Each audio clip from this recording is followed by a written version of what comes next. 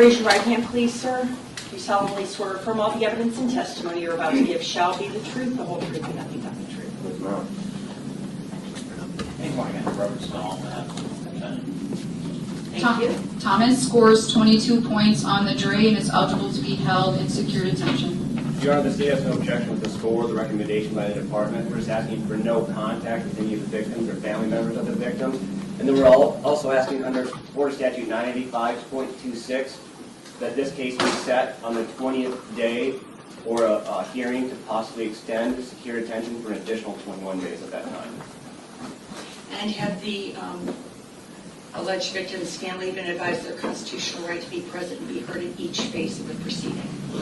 Um, I have not had conversations with them, but I know law enforcement has has met with them. Thank you. Are the parents or guardian of the youth present? I guess, Your Honor, she is. Sir, you've been charged with um, homicide, murder while engaged in a robbery, a punishable by life felony if this were an adult court. The court, uh, sir, do you wish to be heard on behalf of the youth? I know, we, we did not object to the 21 day. Probable cause is found. Furthermore, the designation of a firearm being involved is likewise uh, found as it relates to probable cause.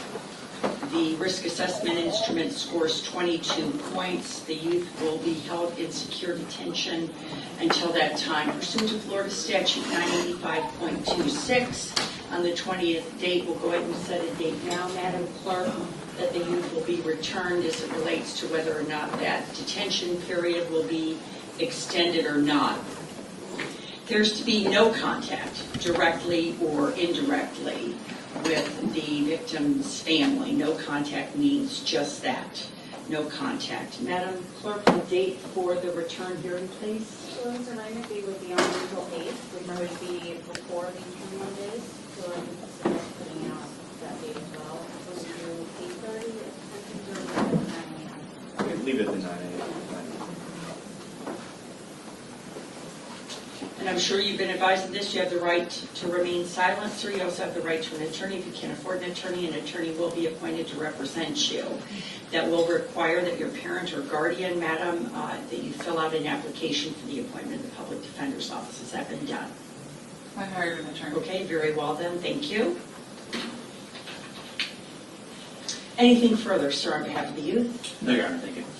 Nothing to say, Your Honor. That'll conclude the detention hearing. Thank you. Thank you. Thanks.